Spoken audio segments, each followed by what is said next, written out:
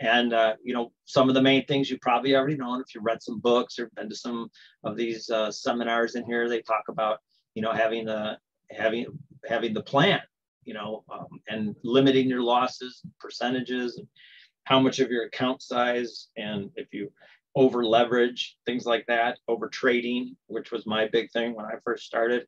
Um, uh, you know, fear or fear of missing out, uh, fear if you get in or fear if you get out. You know, one the, either way. Um, and then you you know waiting for the trade. That was you know my biggest thing is just waiting.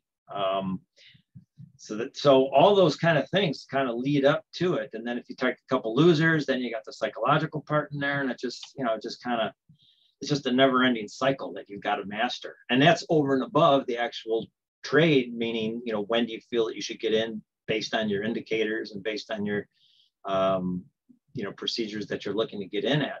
So you've got to learn all that too. So it, it is definitely not a you know not just a quick hobby, but fear. You know, fear is the big thing, and you know cutting those winners short and you know in fear of giving back the profits, hesitating. Um, you know, pulling the trigger, just you're afraid of loss because the last two trades you took, um, you lost, and, and now you're it's setting up again, but you're you're hesitating and you hesitate a little too long and now you're, you know, now it's half over already. Um, or I'm, I know I've done it. and I'm sure that somebody out there has done it too, is, you know, hanging on too long. You hang on to your trades too long because you know it's going to reverse, you know it's going to reverse. So just a little bit longer and you push that stop back a little further and then a little further and a little further. And then pretty soon, you know, you're in pain and, and now it's like, oh, just get me out of this. I can't handle it. I've been there.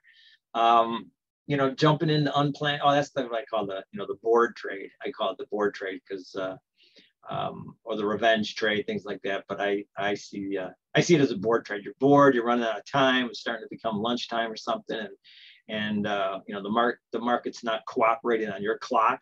So you say, well, I'll just take one and now it's missing a few rules, but that's close enough. And then you get in, and of course, it probably doesn't go your way. So all that stuff is just builds up, builds up, and and so you've got to define all those rules.